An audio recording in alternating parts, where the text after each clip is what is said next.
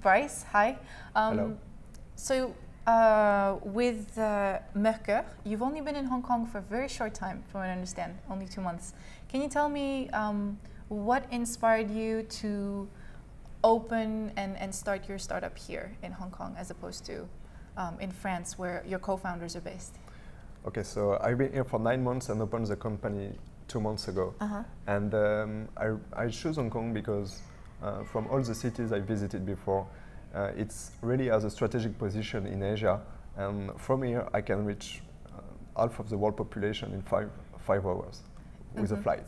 So I can reach India, China, Japan, Singapore, uh, Malaysia, Indonesia. Mm-hmm. It's, it's really has a strategic position. I see. And um, so with uh, Mercurr, you're connecting um, experts and in different fields with startups. What are some of the um, challenges you've, you faced, or if you faced any, of getting people interested to help startups? Or you know, uh, are there some challenges in this respect? You mean to, to find people willing to help startups? Yes. I think people are really willing to help startups because uh, they really would like to work with the next big thing, you know. Mm-hmm. So it's a it's an inve- investment to work with startup when they don't have that much money uh, at the start. Mm-hmm. But then, uh, when they grow, it can be very good customers for them.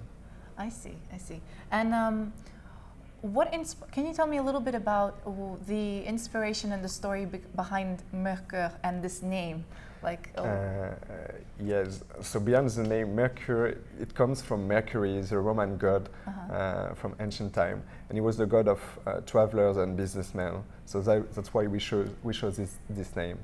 And uh, the story beyond why this company now is because uh, I and my two co-founders, we created another project three years ago mm-hmm. and traveled the world in more than 30 countries to make video interviews with entrepreneurs. Mm-hmm. So we built this huge, huge network before, so uh, it's it's faster now for us to build the company.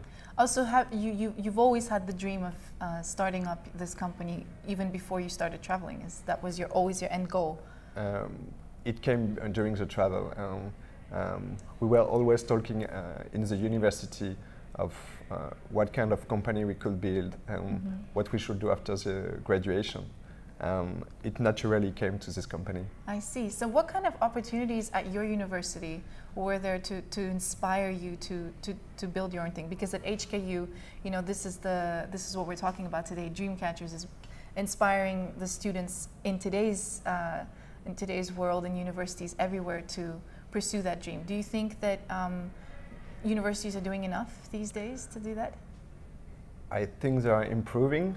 Uh-huh. Uh, I mean, uh, to get to entrepreneurship is not really about uh, theoretical classes. It's more about uh, gathering some people together mm-hmm. Uh, with different competencies and make them work on different projects. And uh, from from that group of people, come new ideas and new companies. Mm-hmm. Um, I think um, university understands this better and better, and it's really good for entrepreneurship, and especially in Hong Kong.